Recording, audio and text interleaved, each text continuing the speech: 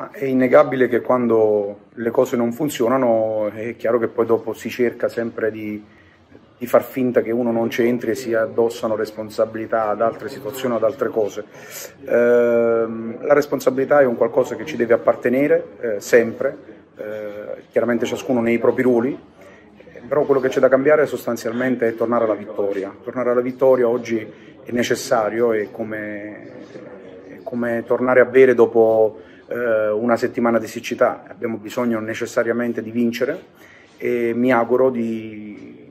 di far sì, se mai ci fosse bisogno, di trasferire questo tipo di, di mentalità alla squadra. Non credo perché comunque quando eh, si consuma un esonero chiaramente eh, si è già eh, consapevoli che un mezzo guaio è stato fatto, quindi da questo punto di vista penso di avere a che fare con dei ragazzi estremamente eh, consapevoli della situazione, però probabilmente potrebbe non essere necessario. A cominciare da domenica andremo ad Udine con l'intento di,